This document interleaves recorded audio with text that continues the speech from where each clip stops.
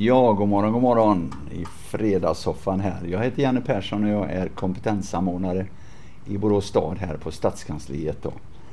Eh, vid min sida har jag Camilla Axelsson. Och eh, Camilla, ja du jobbar på samhällsbyggnadsförvaltningen. Precis. Ja, och eh, det har du inte gjort sådär väldigt länge.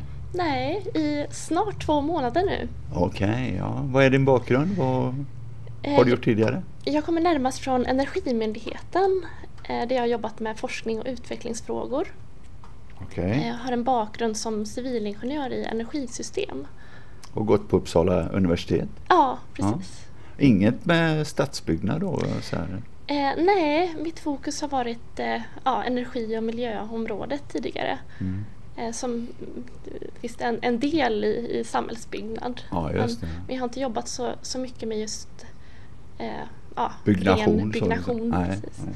Vi ska prata om projektet här Nedre Norrby. Eh, och området, ja det omfattar den här delen med Magasinsgatan och Centralbron och en bit där va? Ja, eh, jag kan säga att i, i vårt projekt då eh, som, som heter Innovationsplattform Norrby eh, så studerar vi hela Norrby.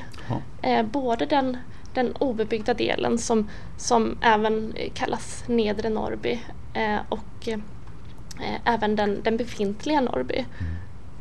Jag har ju en relation till Norrby faktiskt. Jag, jag har ju bott mina första tre levnadsår i Borås och bodde på Värmlandsgatan på Norrby.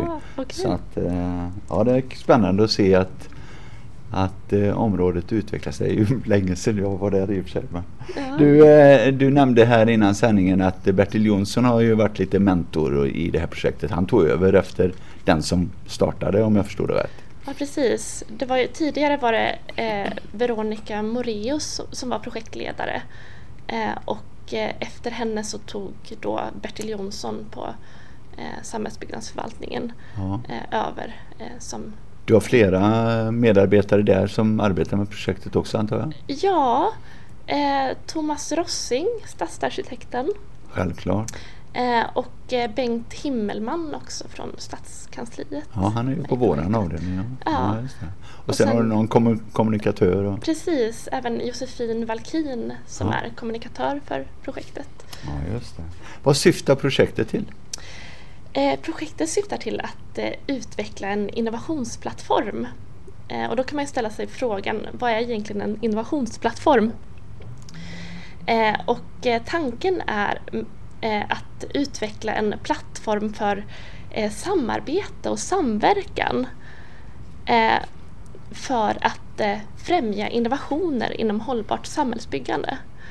Ja, det låter ju lite konstigt men det, det, när programmet är slut så förstår alla. Ja, jag kan ju säga det att det, det är ju eh, samverkan då och samarbete mellan eh, kommun, forskning och näringsliv. Och okay. också i samverkan med de personer som, som lever och verkar på Norrby då, mm. så ska vi tillsammans arbeta för att eh, ja, ett hållbart samhällsbyggande och för att främja att innovationer skapas. Aha. Och det är framförallt, man kan säga att det, eh, det är vägen som är vårt främsta mål. Okej, okay. och då håller ni på till hur länge? Eh, vi startade eh, sommaren 2013 och det är ett tvåårigt projekt. Ja, 2015, ja, sommaren där. Precis. Ja. Du, eh, ja, vi har inte nämnt eh, SP med i projektet. Ja, jag kan ju säga att, att det här är ju ett eh, samarbetsprojekt mellan fyra olika parter mm. eh, som har då ingått i ett partnerskap Eh, och det kan jag nämna också att det, det är ett eh, forskningsprojekt med finansiering från Vinnova. Eh, vi har fått 8 miljoner och parterna har själva gått in med 8 miljoner. Och parterna är då, eh, förutom Borås stad, så är det Borås Energi och Miljö, SP och Högskolan i Borås. Okay. Eh, och det här är ju ganska eh, unikt att, att de här parterna samverkar på det här sättet i i projektet. Och, det... och satsar egna medel i projektet ja, också. precis.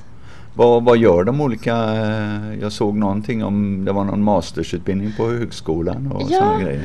Alltså det, det är ett väldigt brett projekt. eh, som innefattar väldigt mycket olika områden inom just hållbart samhällsbyggande. Eh, och eh, vi har ju då eh, olika arbetspaket eh, och ett av arbetspaketen innefattar då att, att utveckla en, en magisterutbildning inom hållbart samhällsbyggande på Högskolan i Borås eh, som planeras att, att, starta nu redan i höst. Ja, och hållbarhet, då pratar vi om tre dimensioner utav hållbarhet. Ja, precis. Vilka är de här tre dimensionerna då? Eh, det är då eh, ekonomiskt, ekologiskt och socialt hållbart, hållbart samhällsbyggande. Okay. Ja, ja ja, och eh, det sträcker sig till 2015 sa vi om de här olika innovationsplattformarna och de olika grupperna då. Eh, vi nämnde högskolan här. Vad, vad har vi fler? Eh, har, vilka är de andra plattformarna som man jobbar med? Eh, eh plattform, vi, vi har alltså det, eller de andra ju, projekten? Eller ja, de, de andra, precis. Inom, det är ju en plattform då som vi ska ja. utveckla men, men inom den eh, plattformen då så, så, har vi olika arbetspaket. Ja, arbetspaket kallar vi det. Precis. Okay, så. Ja, eh, och Eh, då så, eh, förutom då den här magisterutbildningen som jag pratade om så, eh, så kommer vi även att studera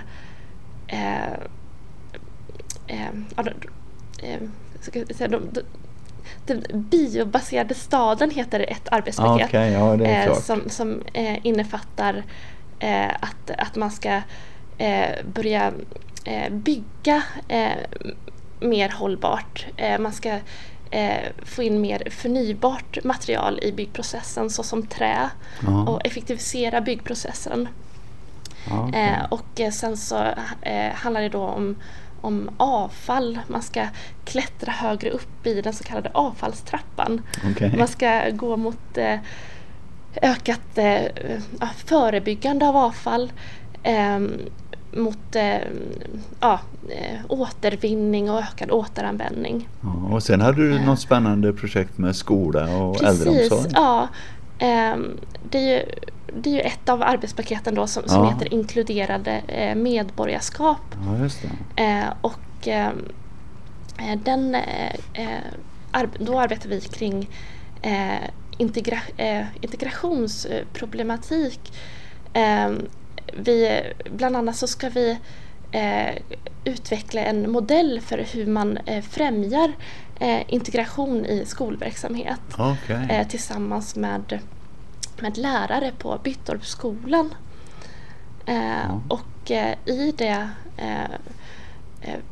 den, delprojektet då så, så ska vi även arbeta med hur vi ska studera hur eh, äldre utlandsfödda personer på Norr, Norrby hanterar övergången mellan arbetsliv och eh, eh pension. Och pension då, ja. Precis. Ja, där har vi något att jobba med, hela den problematiken när våra nya svenskar blir äldre. Ja. Så att eh, det kan jag tänka mig att det finns en del att vara innovativa där och inte tänka i gamla banor. För att vi har ju så lätt för att tänka i de gamla spåren i huvudet. Det är ju bekymmersamt för oss äldre. Ja, precis. Så i det här projektet så ska vi framförallt eh, kartlägga hur situationen ja. ser ut. Mm, mm, mm, eh, och tanken är då att man, man ska kunna gå vidare och, och se hur man då ska kunna eh, främja integrationen. Ja, just det. Ja, nu eh, om, om två år då eller ett och ett halvt eller ett år nästan då 2015 ja. där på sommaren kommer ni avsluta med en jättekonferens och delge de här innovativa lösningarna då eller hur? kommer det att fungera? Ja, alltså, vi ska väl ha någon form av eh, konferens. Mm. Vi, har, vi har inte riktigt börjat, börjat eh, fundera på utformningen, utformningen av den. För spridningen är ju väldigt viktig. Ja, Om ni nu kommer ja. fram till en massa och så, så är det ju viktigt att sprida det till andra. Ja.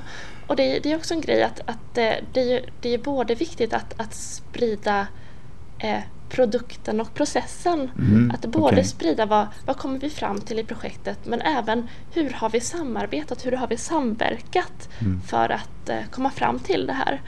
Du sa ju till och med att det var flera projekt här i Borås stad som samverkar eh, med alltså, det här projektet. Ja, alltså det, det, det, är ju viktigt att, att hålla isär. Det är ju, eh, det är ju tre stora eh, projekt kan man säga som, som pågår samtidigt.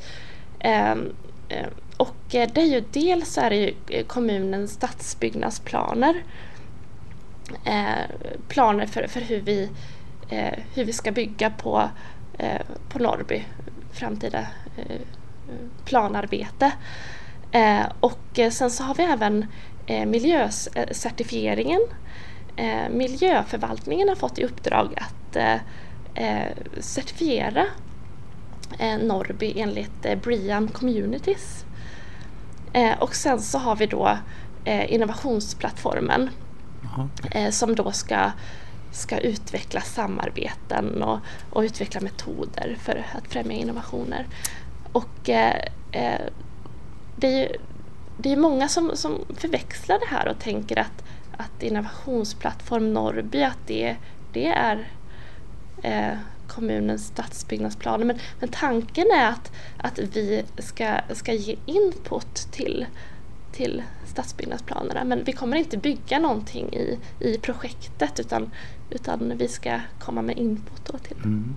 Och eh, det är ju jättebra att de här processerna också pågår samtidigt för att vi kan ju dra nytta av varandras Ja, jag gillar det. Eh, jag gillar när vi samarbetar och vi, vi tänker tillsammans ja. och får en gemensam förståelse för, för hela processen. Liksom. Ja.